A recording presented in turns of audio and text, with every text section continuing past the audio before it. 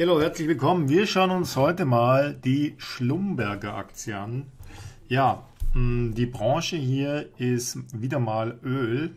Ja, und ähm, hierzu gleich zu Anfang mal so ein bisschen Background. Äh, was ist denn überhaupt das für ein Unternehmen Schlumberger? Ja?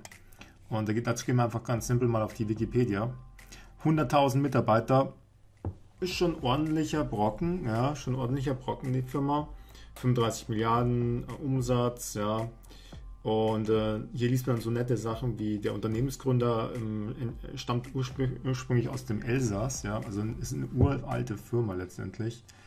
Und ähm, ja, die rüsten sozusagen auch ähm, ja, aus, also die stellen sozusagen Dienstleistungen für äh, die Ölförderung halt zur Verfügung, ja. Und ist letztendlich eine niederländische Firma und ähm, ist einfach naja, so ein bisschen vergleichbar auch wie zum Beispiel damals äh, im Goldrausch, ja, die Schaufelhersteller, die halt die Schaufeln hergestellt haben, nicht wahr? Ähm, die haben letztendlich an dem ganzen Goldrausch damals ähm, das Beste, das meiste verdient. Und ungefähr vergleichbar mit dem, mit dem Ölrausch. Ähm, Schlumberger wäre dann in dem Sinne so eine Art äh, ja, Schaufelhersteller. Ja? Also jeder kennt, glaube ich, das Beispiel mit den Schaufelherstellern. Wir schauen uns jetzt gleich mal vorab die, die Kennzahlen an. Ähm, das ist nämlich einer der Hauptgründe, warum ich ähm, vor ein paar Wochen sowas hm, eine Aktie hier mal gekauft habe. Ja.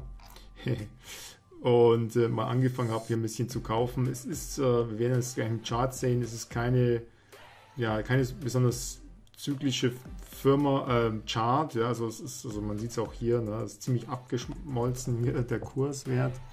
Aber wir sind hier natürlich eine Dividende von 5%. Vielleicht ist die Dividende auch genau deswegen so groß. Ähm, KGV und Eigenkapitalquote passt soweit alles. Ähm, man, müsst, man müsste sich halt einfach ja, dann nochmal genau anschauen, warum letztendlich die Gewinne, äh, oder nicht die Gewinne, sondern äh, der Kurs so abgedriftet ist. Ähm, in den letzten, ja, mal sagen, äh, so richtig ging es eigentlich los oder schauen wir uns das gleich im Chart nochmal an.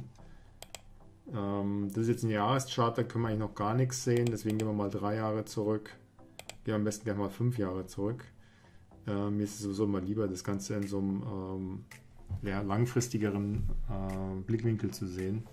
Und da sehen wir einfach, dass hier im September 2018 das einfach äh, letztendlich abgesunken ist. Damals, mh, mm, ja, ähm, ja, so richtig, der, der, der, die Korrektur, die 25-prozentige, die wir hatten, die ging eigentlich erst so im Dezember richtig, oder ja, November, Dezember los. Hat sich seitdem einfach nicht wieder richtig erholt, aber man sieht schon hier vom Chartverlauf als solches, ähm, rein charttechnisch ähm, hat die, ja, ähm, ist es jetzt nicht besonders äh, im Vergleich zu allen anderen Aktien in, innerhalb der letzten fünf Jahre äh, schon richtig Federn gelassen. Ja? Also da, da gibt es ja andere Aktien in der Technologiebranche, ja, die haben in dem gleichen Zeitraum 500 Prozent gemacht, ja, oder noch mehr. Und äh, die Aktie ist definitiv also nicht sonderlich zyklisch und von daher vielleicht schon wieder interessant für ja als Dividendenwert, wenn man nach wenn man sozusagen fundamental hier so ein paar ähm, wie vorhin gerade ähm, ähm, erwähnt, also, wie, also das Alter der Firma, ähm, die Rendite des KGV und dann, wenn man sich die ganzen äh, von den Metalldaten eben so anschaut, äh, die ich ja, nur, nur bedingt äh, glaube, aber man kann sie sich mal kurz anschauen, ähm, dann, äh, dann könnte man jetzt letztendlich sagen, okay, ähm, man, man, man, kauft das Ding einfach äh, billig ein, ja, zum Zeitpunkt, wo man nicht weiß, ob vielleicht ja, das vielleicht ein guter antizyklischer Wert sein könnte, ja. Und ähm, ja, letztendlich ähm, mit 5% Dividende kann man nicht viel falsch machen, ja. Das wäre sozusagen mh, hm, der, die einzigste Begründung, also die ich mir sozusagen selbst gegeben habe, um mir mal ein paar Aktien zu kaufen, um mal ein bisschen auch zu streuen. Ähm, letztendlich, wenn man hier nochmal zehn Jahre zurückschaut, ähm, ich finde, ähm, oder noch länger, ich finde, dann, dann sieht man vielleicht auch ganz gut, wo wir eigentlich ähm, im Vergleich zu den letzten 20 Jahren stehen. Also wenn ähm, ich habe ja schon öfter hier mal auch Aktien hier präsentiert äh, in einem, und in einem 20-Jahres-Zeitraum. Ähm, warum? Weil es einfach eine ganz andere Aussagekraft hat äh, bezüglich einer Aktie, die, die es schon länger gibt. Ja? Und die gibt es ja schon ultra lang. Und ähm, nur dieser, dieser, diese Chart-Software hier geht nicht weiter zurück als wie 20 Jahre. Ne? Das, ist, das ist der einzige Grund, warum wir hier nicht noch länger mehr sehen.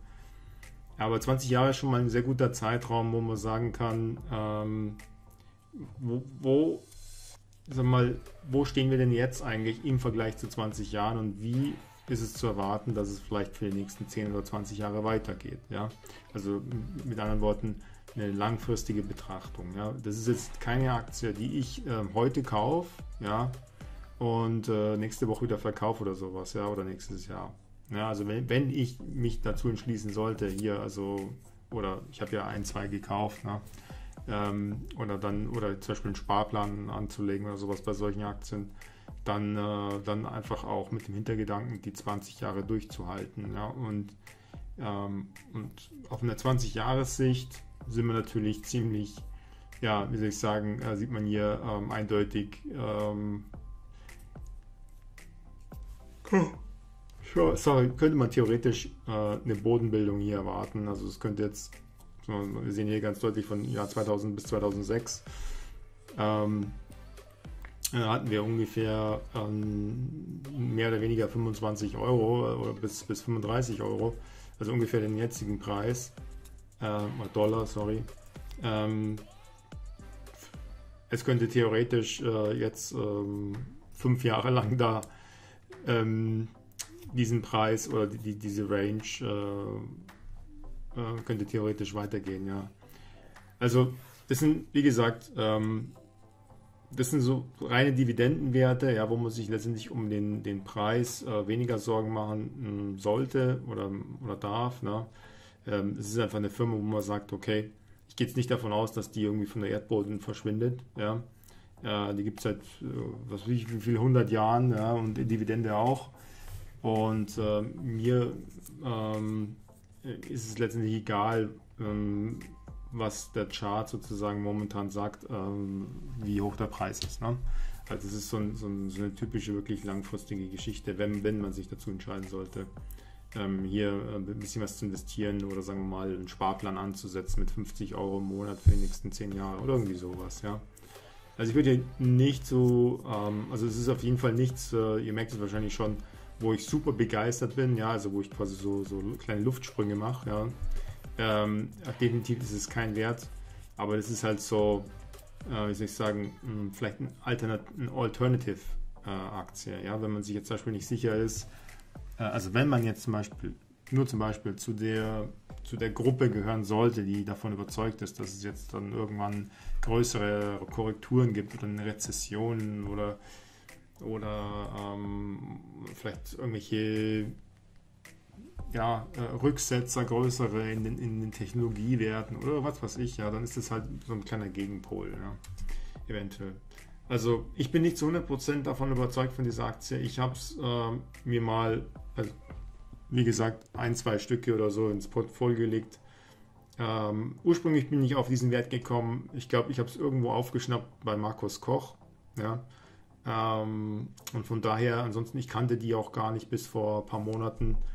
Und ähm, aber ich fand es dann, ich habe dann ein bisschen gelesen, wie alt diese Firmen sind, was die machen und ähm, äh, es ist halt, ich würde mal sagen, ein, Firmen, ein Wert, ähm, der einfach ähm, ein gewisses, eine gewisse Krisenresistenz wahrscheinlich auch hat. Ja.